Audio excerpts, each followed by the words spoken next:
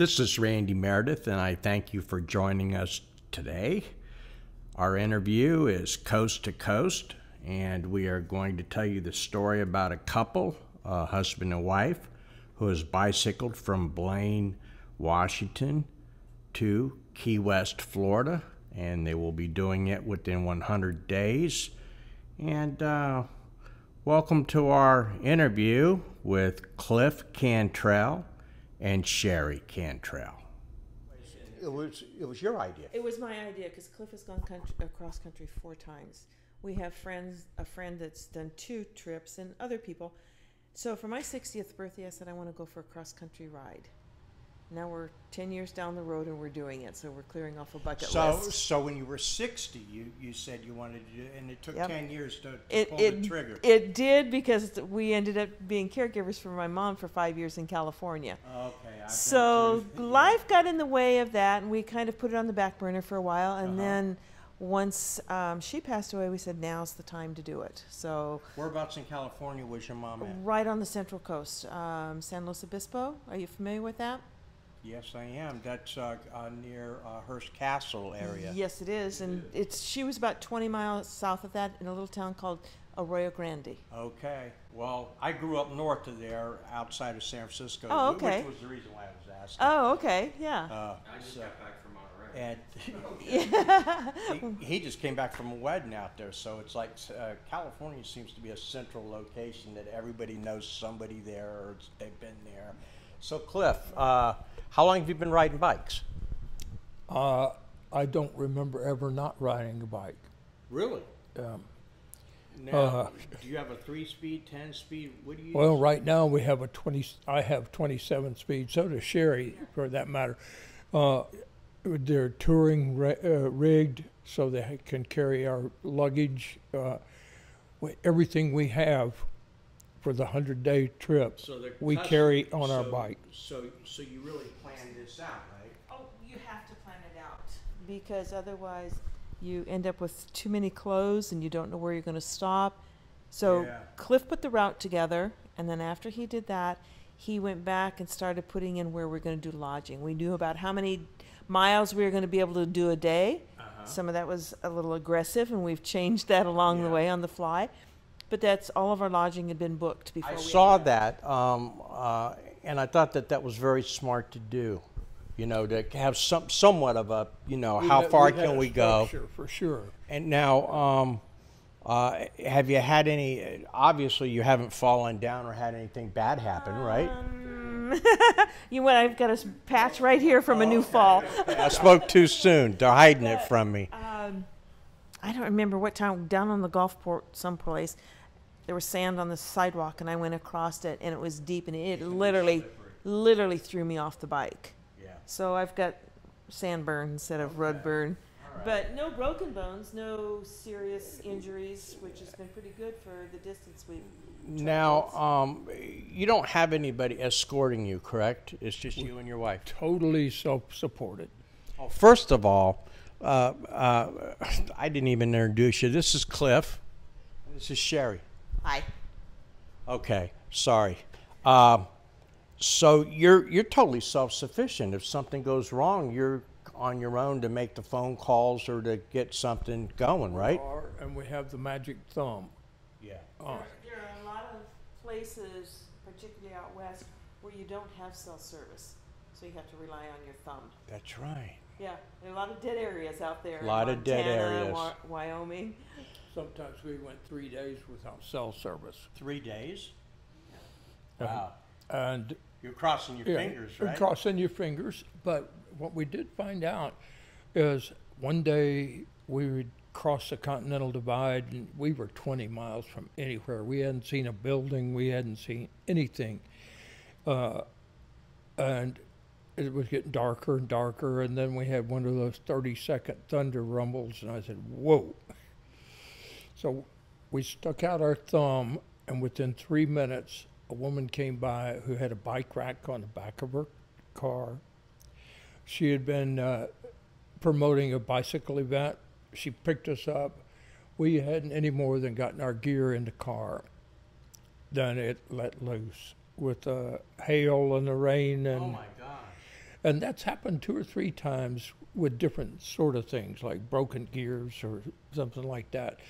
Never had a problem that we didn't stick out our thumb, and within very few minutes, usually the very next car that came by picked us up if it had room. Do you have a little repair kit for the bikes, like master links and things like that? Oh, yeah, we, we carry spare chains, spare brakes. Uh, we have, I have rim brakes. She has uh, disc brakes.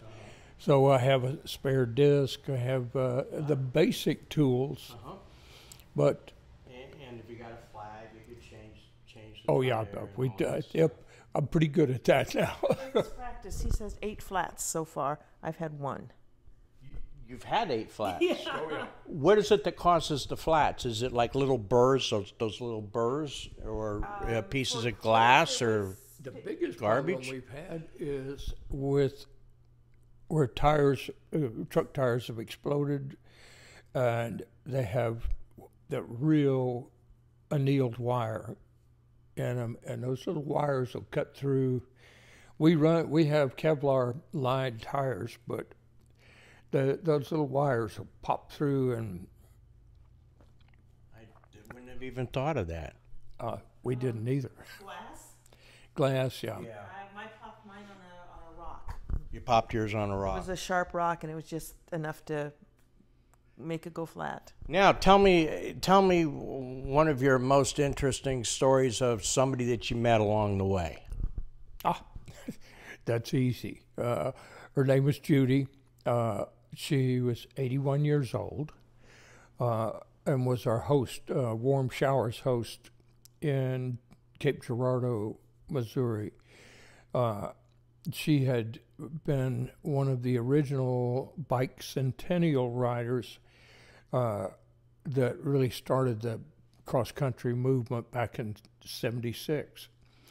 Uh, and had been it was sort of a life changing thing for her. And now her uh, she still bicycles.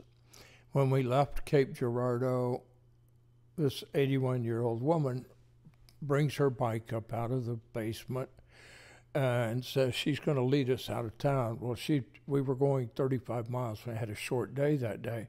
She went 17 and a half of it and left us. So we had 17 and a half to go that way, and she had 17 and a half. We ended up doing the same amount of mileage.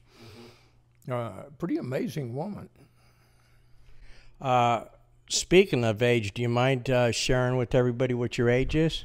I turned 70 in January, and Cliff is 79. Did you people hear that? 70 and 79. And, and th- this trip uh, is going to be a combined mileage of, it's over 5,000 miles, right? 5,000 miles, yeah. 5,000 miles. D- is the trip going easier or harder than you thought? Yes. um, at times it's been harder than I thought it would be, and other times it's like, where did the time go? You know, we in the very beginning we went across Snoqualmie Pass, and there was a lot of what people refer to as hike a bike because it was so steep, you had to just get off your bike and push it up the hill. But it was one of the most incredible parts of the ride, just because you're up the treetops. It's an old rails to trails, if you're familiar with the rails to trails term. So they take old railroad beds and turn them into bike paths. So the grade is where trains could go, you know, because they can't go real steep. So it makes for a nice bike ride. Mm-hmm. But at times it would get steep up there. But you're at the treetops, you're going through the old trestles. We went through a two mile tunnel. And that and the sunflowers in South Dakota will probably be my two takeaway memories because we went through thousands and thousands of acres for three days of sunflowers in blossom. Wow. How about you, Cliff? Uh, you know, pretty much the same. Uh, I've gone over those mountains before, and there was a real question at 79 of how that was going to go. And then uh, Sherry had knee surgery in May, so she lost the month of May. We pretty much lost that month for training. Uh, so it was qu- really some bit real questions when we started, uh, but we persevered and now we do grades that we, we couldn't have thought of doing at the beginning of the ride. I- i- Is, um, uh, is this totally self-funded, or do you have some help from people, or how, how is this all pulled together for you? Uh, we have a handful of people who have contributed to the cause, but it is otherwise self-funded. Okay. And um, uh, what what are you? If you was to talk to somebody who's younger and thinking about maybe doing this, what what what would be your message of self encouragement to them? That's there's so many, but uh, the big ones are doing a trip like this gives you a real understanding of your ability to solve problems. Uh, you you you across the country, you look at the map and say, "I did that." It uh, Plus, you get to see the country at what we call the speed of bike. Uh, the when we went through, went past miles and miles and miles of the sunflowers in South Dakota. Uh, you know, past eight thousand acre sunflower farms. Uh, you get to go at that at a speed that you can enjoy that. Of course, when you go past a feedlot or a dairy farm, you experience that too. Iowa's nice for their pig farms. it's you just can't hold your breath long enough. I would add though, someone when we talk to the kids, kids 20, 30 years old, um, don't try and do it by yourself. It's a daunting, daunting task. Um, people do that, but you really need a cheerleader for when you feel down. You can't. I had a couple of days I just want to throw my bike down, say I'm done, and we'd get to talking and so you bounce off, we bounce off each other and i admire the people who can do it by themselves but, yeah. but i would highly encourage well, also those- for safety. for safety hmm Uh, well, and we had one advantage. Two days before we took off, I got us some intercom helmets. Uh, they're just like the ones the motorcyclists use, but they're light enough for bicycles, and they'd last 14 hours on a charge. So we were in constant communication for safety. Uh, and just for companionship. This, look at that, or watch out for this. Yeah, we probably talked more in a general day than would normally happen, uh, uh, because our we were focused together. Right. But uh, the helmets had a half a mile range, so uh, we didn't have to run wheel to wheel. And if one of us had a flat or something like that and was in back, you say, hey, I got trouble. Stop. Now, who's the photographer between the two of you? Because I'm sure you've taken some photos. i'm probably more the photographer than cliff but he's taken some amazing pictures as well but i think mine outnumber his So, do you, do you plan on writing about this, or doing a little journal, or d- just even for yourself? probably we will we intended to blog the trip but um, it it was really hard. It was a lot more work than we thought it was going to be. And when you get off the bike at the end of the day, the last thing you want to do is sit in front of a computer. So we'll catch up with that when we get back. We'll blog um, some of that. I don't see a book in our future. A lot of people think we should write a book, but I think we'll just be sharing a lot of our pictures and our stories as we go down the road. Yeah. Okay. Uh, But along that same line, what we didn't budget for was social time. And that plays such an important part in the trip. Uh, you talk, you stop, you talk to people, you uh, are involved in people, and that took away from time to blog. Yeah. So uh, we'll try to we're going to try to catch that up, and uh, we carry a book of our road angels. That's the people that uh, help us along the way. We had a woman stop and say, You need some cold water. I have a gallon of cold water in the car. And she filled up our water jugs. Or somebody else, uh, we were struggling up a hill, and guy comes up behind us, and he had passed us going the opposite direction, and, and it had taken him a long time to get back to us.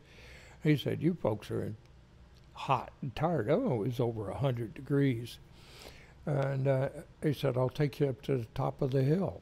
Oh, that was nice. Yeah, Yeah, uh, but then we found out he lived on the other side of the hill, so we just stayed in the truck with him and rode down the other side.